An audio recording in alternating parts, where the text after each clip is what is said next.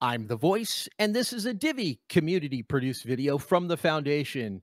So I talk a lot with Random String about that situation. One thing that's really interesting and makes him really the the man of the situation is his background is in algorithmic math. Yes. And he is really I'm biased, but I would say he's a genius. Um, I think we will publish because he has a long text about his journey uh, from the first version of Divi to today, and I think we'll publish that in the That'd blog so that you can you can see his mindset. He's really th- someone who thinks uh, long term, really careful about the security.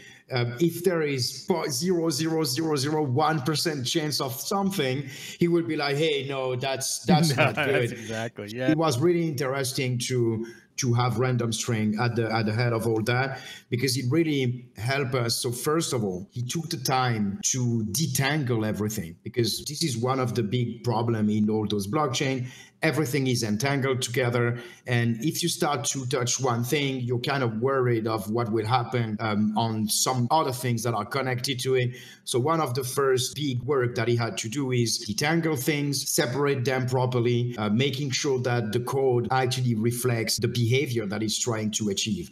And by doing that, he was able to highlight some piece of code that were already present in the blockchain and repurpose them or improve them towards some faster operation or completely different kind of operation of those things is the masternode deployment on mobile. When uh, came with the mobile wallet, they basically were requiring the masternode deployment to go faster. So it required some improvement. And the great work that Herman had achieved in that part of the blockchain enabled him to change the way it was deployed with a new approach and improve that deployment process in five seconds. It basically didn't need to wait. It has been a big change. And we also implemented that in the desktop wallet and it, it basically improved completely the speed instead of having to wait 15 minutes for your masternode to be ready now you could just leave it out after five seconds and it would deploy without problem Exactly.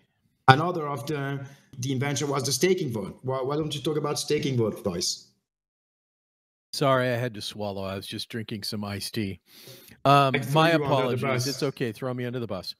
Um, so staking vault, staking vaults themselves, being a cold technology, it still stands firmly upon random string, and it comes with a story, and that story is about concern for your Divi, your cryptocurrency, how he came about it is is a journey unto itself but it was all about him and he knew that people in the community were doing a process which is not necessarily safe um, it was where people were deploying let's say a remote vps and in that vps they were putting their coins on that vps uh, and that in that vps it was running and it was hot meaning its coins were in that um, remote server, and uh, it was ha- it's hackable. There's no question. It is it is the dumbest thing that the industry ever helped promote was remote hosting, and then and then staking or or mining the blocks on these remote servers where your coins and keys were all on it.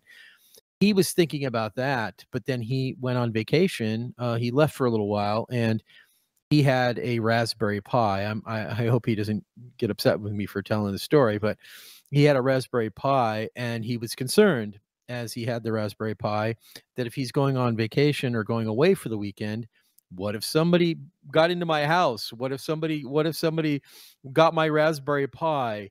Even though he was so concerned for security, even though he knew he had done all of his due diligence and that was probably impossible to happen, he still didn't have a good time on vacation because all he could think about was his Raspberry Pi that in and of itself sent him on this journey after he cleaned up the masternode's codes and after he was you know le- listening and reading about different processes that were in crypto that were coming to be that he realized that there was a way that he could build out vaults and vaults could be done in a cold process meaning you could be on a raspberry pi you could be on a remote server like a masternode is set up you can actually set up this process so it's totally safe and cold as a coin owner.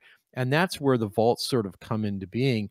It was for that journey as himself as it's represented for community members and seeing community members putting themselves in unsafe positions that's where vaults come into be there's lots of fruit that comes from that but vaults came into being just 100% for the safety and security that they were cold. Yeah, it's, it's one of my favorite parts of Divi, in fact, um, because of the, the functionality. I know a couple of other uh, blockchains have implemented something similar, but uh, yeah, that, that's that's that's true. I think that there are other chains that do some sort of cold type of process like that. The difference would be is the focus on the way he did it is he kept everything as far as the coin owner sovereignty in place. You don't delegate anything. You still own your vault. Your vault is still on your local machine. It's through cryptography. That's a that's a really complicated topic unto itself. It's through a little piece of code that allows this remote server to for actually the best way to say it is it's it allows you to supply that remote server with a little piece of code that allows that server to run as you mining blocks remotely. It's cold. It's really crazy how it works. It's very complicated. Anybody who wants to chat about it for an hour can set up a concierge with me, but I can diagram it and detail it and walk you through it. But it's crazy what he did. So it's never a delegation. Never a delegation. Yeah. And so uh, another result of, of those improvement on the blockchain are the subscriptions yeah. and and basically also the direction to sidechains. So the subscription are still in beta. They've not been integrated in the wallet, but but it is a groundbreaking feature. One of the things that's really interesting is Random String says that for improving the Masternode deployment and uh, developing the staking vault, he actually didn't need to do much.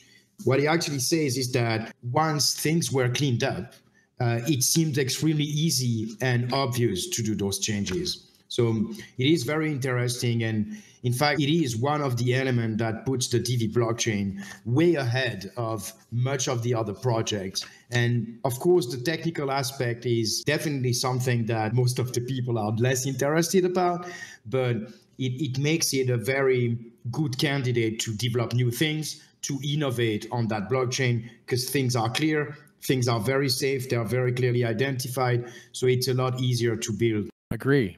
Yeah um, we're going to talk about sites i think i think subscriptions are not appreciated i have to say. I think so we have to have an example of them right? We have to have an example. People have to see yeah. subscriptions in action. Yeah. That's something that you and i have been promising for a long time is seeing something in action. And i know we've been busy it on is, many different things. We just need to set aside some time to show a subscription even if even if I could set up some sort of a server to show how those subscriptions work. I know it's complicated. Our our yeah. goal is to through the community and through governance is to make that subscription process crypto made easy. But even if it's not easy right now, there's no reason why we can't show it in action and then give the idea of how easy it can be once we get it done. Um, that would be great. Yeah. The problem is the current iteration of the subscription is, is a lot more complex. I, I would say it is not a user facing feature. It's more a wallet developer ah, feature. It needs to it be integrated yes. into wallets so that so that user can actually can actually use it and businesses can actually use it. It opens a huge realm of possibilities uh, refunded purchase some you know debit card for obviously limited to divi. It is a really interesting feature but right now it's just it doesn't get the love it should because it's basically not not in the hands of the users we can say. Exactly. I mean for me i mean again it's the thing i'm kind of focused on is this dao but like honestly a great use case for it is when a project is funded or whatever that it, it the funds go out as a subscription. It's not one big not one big chunk, not a bunch of votes to make another chunk go out. You just put it in a subscription, and you can always stop the subscription. It's, it's a perfect payment mechanism to in, integrate into the DAO later. It's, it's, a super good use case in my head, but we need to get it actually in there. So I, I agree with you. We need to have demonstrating demonstratable examples of it uh, going before it can be appreciated. But again, this is this is Divi. Uh, as far as I know, Divi only.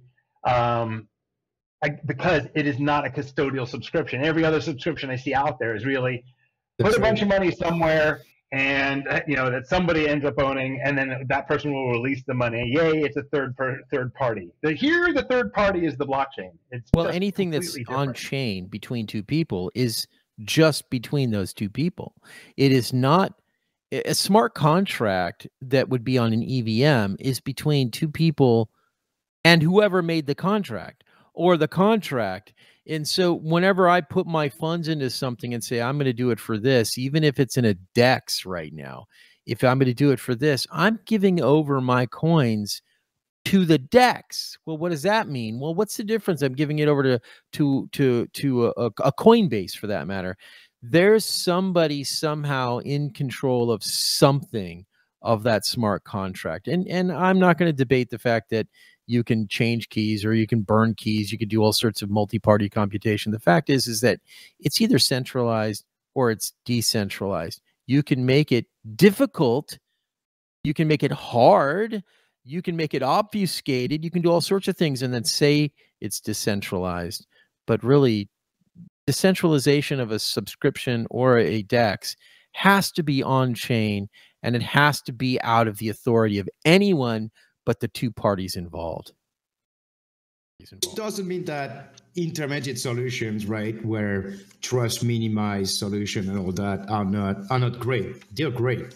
But we do cherish uh, at Divi, we do cherish the trustless and sovereign approach. We always have done.